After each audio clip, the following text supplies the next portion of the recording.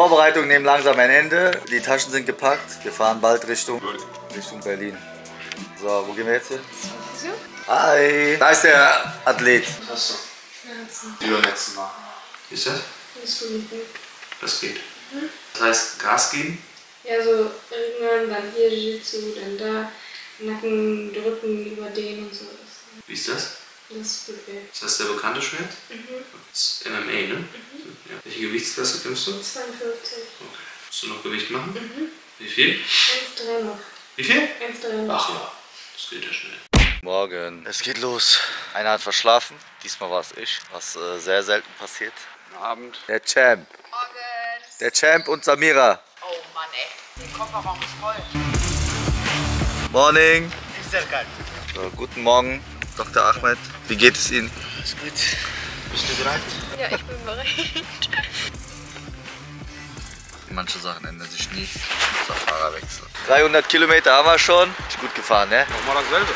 Ahmed, how you like my uh, driving style? So gut. Endlich angekommen.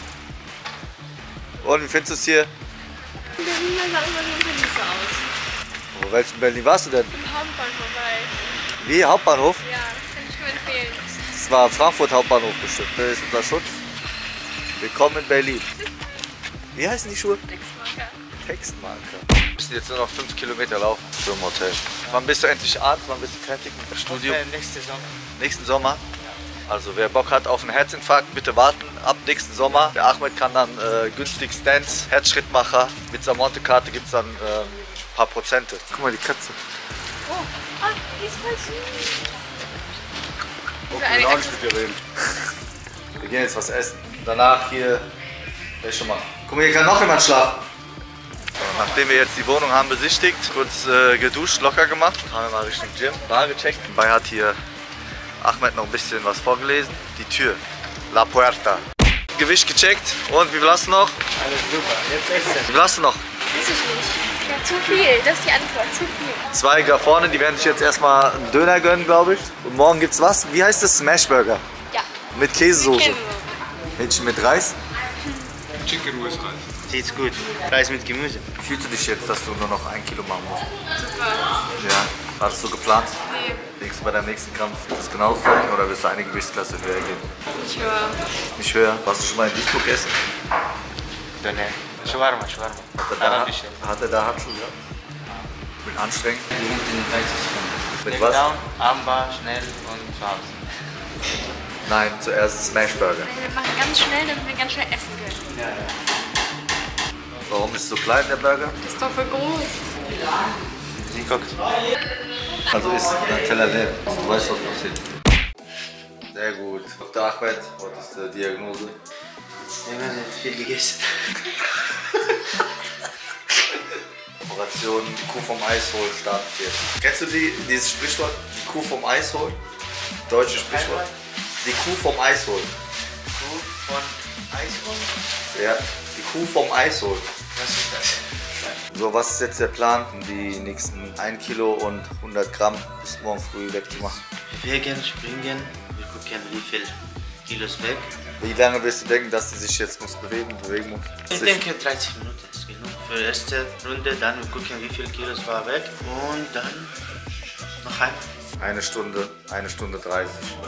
Maximal 40 Minuten, eine Stunde.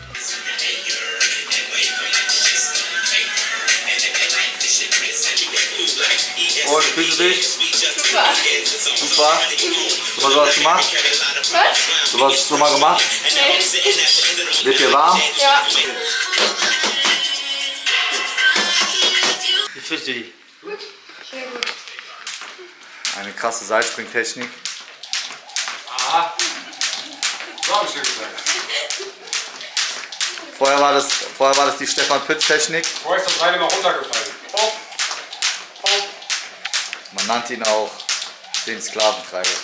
So, willkommen zum heutigen Spiel. Der Champions League USA gegen Germany. Wahrscheinlich ist das vielleicht EM, ja, du hast recht. EM Champions. Aber EM ist doch Europä. Doch, doch, USA ist Europa League. Aber EM ist doch European Meisterschaft, oder nicht? Leute, das ist mein Bein, ich kann mir helfen. Das ist EM. Was heißt EM, Doktor? Ist noch? Europameisterschaft. FIFA, FIFA Euro- World Cup? Nee, FIFA ist so. Europameisterschaft und Weltmeisterschaft. FIFA ist doch online. FIFA ist online? Da gibt es das auch in echt. Du lässt es nur Computerspiel. Ich verstehe doch nicht, was das soll. Das ist der RTL Cup. Aber warum ist die USA jetzt extra hingeflogen? Wo spielen die denn? In Germany? MSV Arena? Die haben alle kurze Hose, vielleicht sind die nach Amerika. In Mexiko dann. In Mexiko. Warum sind die in Mexiko? Oh, jetzt macht die USA ein Tor. Jetzt würde ich aufpassen. Ist nicht live. Natürlich ist live. So, der Papa hat Abendessen gemacht mit Dr. Ahmed. Mein Rezept.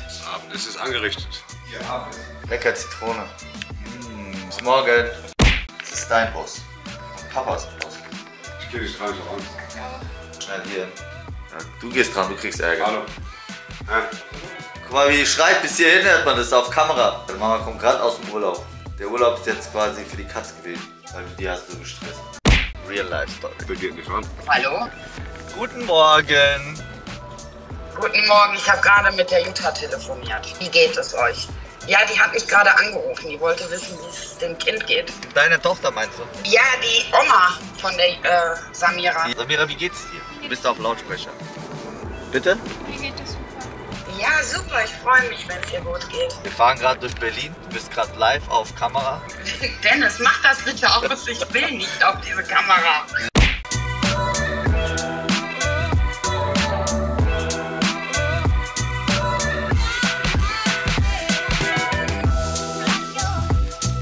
Wo musst du hin? Erstmal zum Arzt. Nach und wohin?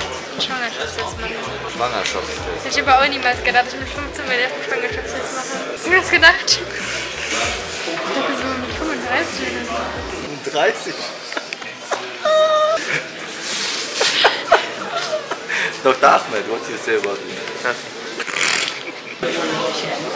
Wo gehst du jetzt hin? Wir laufen und die anderen fahren mit Aufzug. Warum laufen wir? Eigentlich sind wir alt. Wir sind, die Alten. wir sind Rentner. Ab hier müssen die laufen. Was ist los, Alter? Bist du schon auf Fight-Modus? Ey, mit diesem krassen Anzug hast du richtig krasse Reflexe. Bist richtig auf Beast Mode. So, wir checken jetzt aus. Ich habe was vergessen. Was denn? Ein toter Vogel ist ein toter Vogel. Das ist egal, Mann. Pommes. Berlin.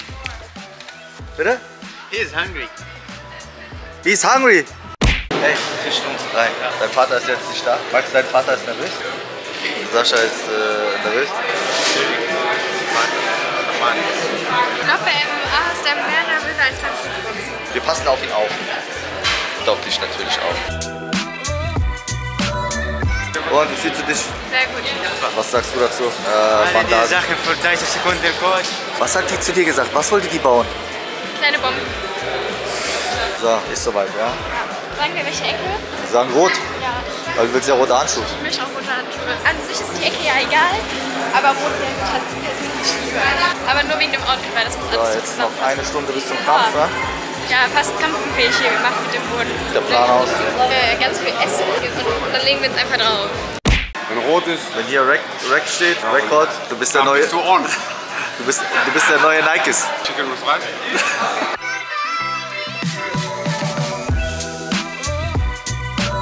Für was wird das jetzt gemacht? Rot ist schön. Und warum wird das jetzt abgezeichnet? Damit die Hände kontrolliert werden, dass nichts falsch ist an den Bandagen, dass die Handschuhe nicht aufhören. Und man weiß, welche Ecke sie ist. Samira hätte ge äh, gerne nächstes Mal rosa. Können wir eine rosa Ecke, Eine rosa. Ecke einführen, bitte?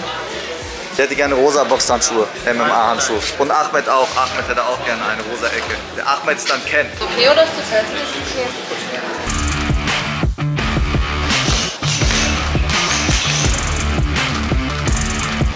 Nikes nehme ich auf und nimm auch mal die Gegnerin auf.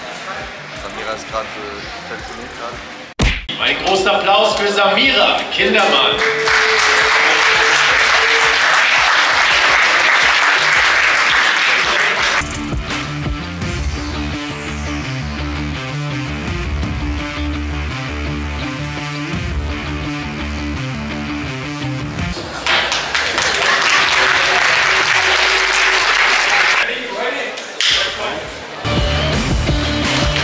Nada, nada,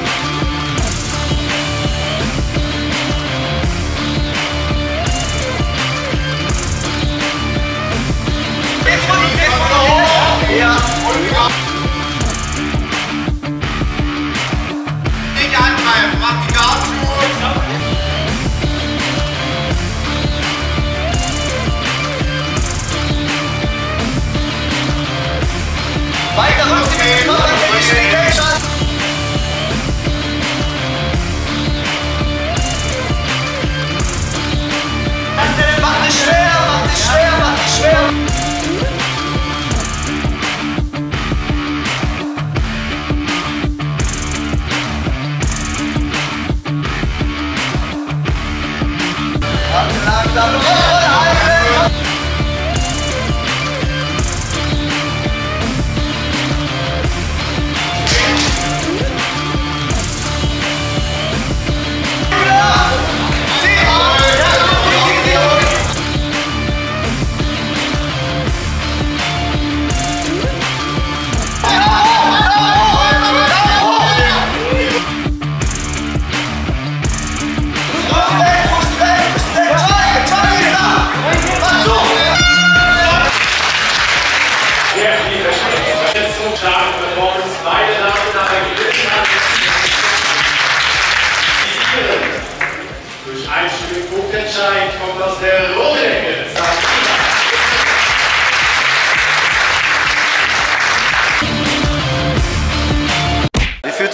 Sehr gut.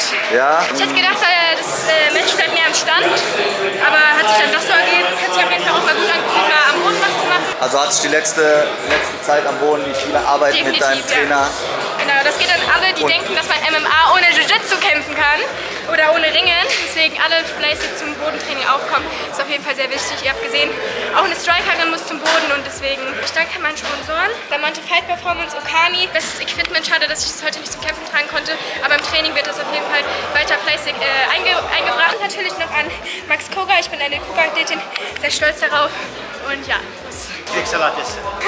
Smash Burger.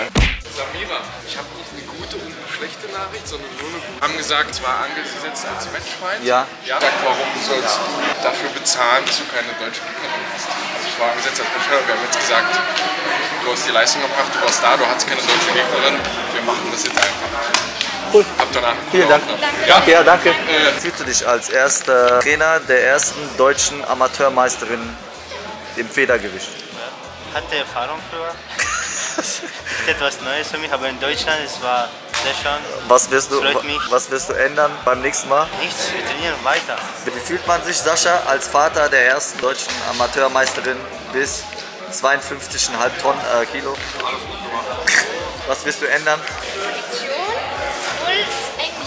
Schneller werden mit meinem Auge, wo was da ist, äh, mehr durchziehen. Also so, jetzt habe ich das direkt abbrechen, nicht so und im Vorfeld weniger essen, gar nicht mehr essen. Also wirst du dich nicht mehr an deinen Ernährungscoach Arnel halten? Nein, tut mir leid, ich habe meinen Ernährungscoach gewechselt. Du jetzt auch weiter bosnische Musik hören, wenn du jetzt auch nicht mehr mit Arnel zusammen trainierst oder trotzdem dem bleibst du treu, ja.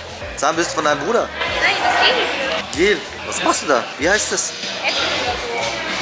Edges? Keine Ahnung. Hast du diese Probleme auch nach deinem Kampf? Ja. Ah, gibt's jetzt noch ein Tutorial. Ja, wenn, dann müsst das zu den Form gehen und dann, wenn ihr wollt, könnt ihr noch Haarspray machen, aber meine Haare werden dann so hart und das möchte ich jetzt nicht. Gewinnerin des Frauenkampfes in den Cage, Samira Kindermann.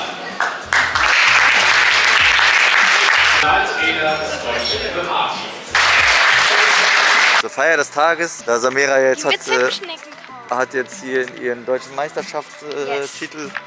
Gewonnen und überreicht bekommen. Hier führt sie uns aus in hier ein hochklassiges Gebiet. Das ist ja wie Duisburg hier. Am Ende werden abgezogen. Darauf pass auf, dass hier Ich muss die Kamera, ich muss die Kamera hier verstecken. Alter, wo führst du uns hin?